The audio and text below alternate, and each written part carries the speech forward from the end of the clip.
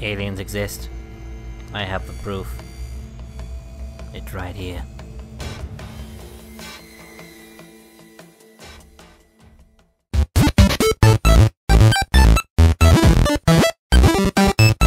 What's up, gamers? Welcome back to the Game Strain. This is Wyan here with you again. So, the week vacation that I went on kind of turned into a two week vacation. Sorry about that.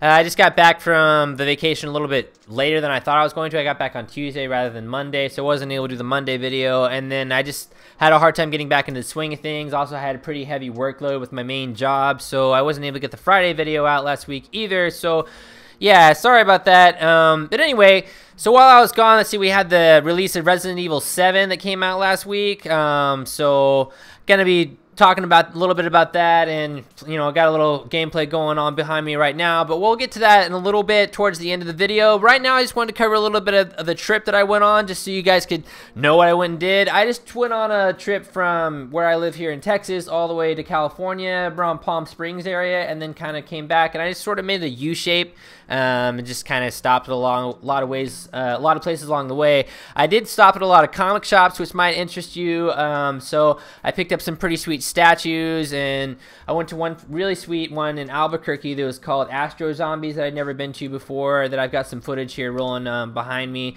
They had some awesome murals. They also had some really sweet stuff on the ceiling where uh, various famous comic book artists and uh, writers. Uh, let's see, he said Robert Kirkman, Joss Whedon, other people had all been in there that all kind of signed their name up on their ceiling and did a little doodle of some sort. That was kind of cool. They also had just a lot of sweet figures and comics. Um, I stopped at some other places like Maximum Comics, Golden Apple Comics, Secret Headquarters. Um, I'm just going to try and show some little bits of those. I also picked up uh, three really sweet statues while I was going to these various comic shops. I got a really nice Hulkbuster statue that has some pretty sweet detailing on it. Um, it's just an awesome statue. I mean, I kind of dropped a little bit of money on that one, but it's Actually, it's supposed to. I don't think it's really being in production anymore, so it's kind of rare, I guess. Now it makes it a little bit cool, but I mostly just got it because it looks so sweet. You can actually put the helmet down on him, or you can have it up. But I like to leave it up just because you get to see all the detail on Tony Stark's face. Um, but it's really sweet piece, and I also got a uh, zombie Mysterio, um, which was never really necessarily my favorite uh, villain from Spider-Man, but I do remember him from the animated series mostly as being like that. Anyway, um, but he, this is the Marvel Zombies version of him, so he's a zombie Mysterio. I just really like the figure. I thought it looked awesome. It almost reminded me of something from Mars Attacks. and then I also got a pretty sweet uh, Magneto statue.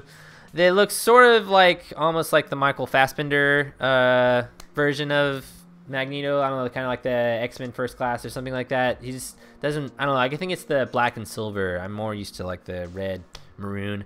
Uh, but it was it was relatively cheap, and it was at the. Uh, I got that one at the Golden Apple. Um, I got the Iron Man at Astro Zombies, and then the Marvel Zombies um, figure for Mysterio. I actually got that one at Maximum Comics when I was in Las Vegas. And then the other one, the Miss Magneto statue, came from uh, L.A. Yeah, when I was in Los Angeles. Uh, yep, and that one came from Golden Apple Comics.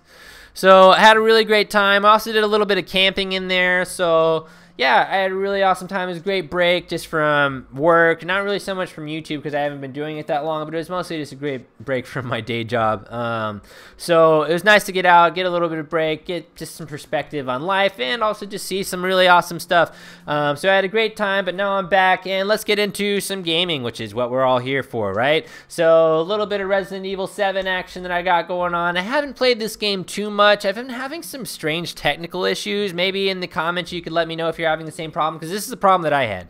It was running perfectly fine, like butter smooth. My computer was doing just fine with it. And then I'd say I got like two to five, 2.5 hours into it, maybe three. And then it started to get really choppy all of a sudden. I was like, what the fuck? So I installed a, a graphics uh, driver update, update for, for my graphics card um, through NVIDIA. And that seemed to help a little bit. And then there was also an update that came through Steam for the actual game Resident Evil 7.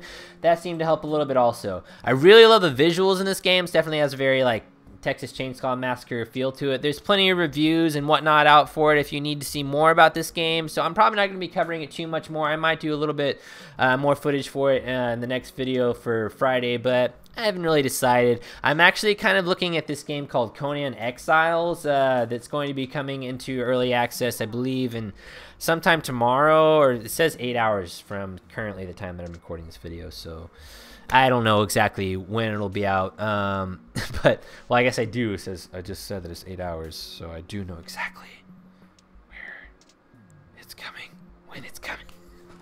So um, yeah, Conan Exiles looks pretty cool. I don't know, but it's another early access survival game because it could be absolute complete shit.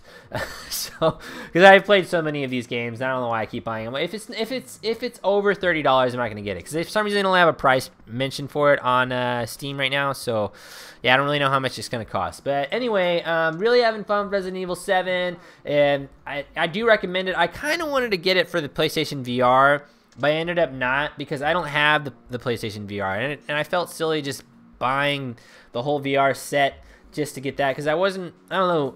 Here's my thing on VR. I really feel like it's cool, but all the peripherals for it right now are a little bit overpriced for what they do. Even the PlayStation one, because the PlayStation VR is probably the most modestly priced and gets you some pretty good performance out of it. But I don't know if I mean if you look at the the Oculus and then the HTC they're just so expensive. I'm honestly just kind of waiting for like the second generation of these. Is what I'm really hoping for. Is try and get pick up the VR thing once the second generation comes out. It's a little bit more consumer friendly, uh, a little bit more accessible. They've ironed out a lot more of the kinks because it does seem cool, but there's not. I don't know. Um, I I do see these these videos and whatnot and uh, footage for VR, and I'm like, oh, why don't I have a VR set yet? What am I doing with my life? But I might get one eventually. I don't know. But I hear that Resident Evil 7 is really sweet in VR. If you're playing in VR, then maybe leave a comment down below. Maybe let me let me know what you think of it. But uh, otherwise, probably going to be seeing you here on Friday. We think we're going to wrap it up with that. Uh, yeah, probably Conan Exiles for the next video, but I'm not really positive. I might have something else for you. So be sure to check back. We're always going to have uh, two videos a week for you here on the Game Strain, Monday and Friday. So apologize that I wasn't here for the past couple weeks, but it was just the whole vacation and everything that I explained. is a little jarring getting back. It really was. This past week was just kind of hectic and crazy. So, anyway, uh, I'm happy to be back. We're going to see you here on Friday on the Game Strain. So, we'll see you then.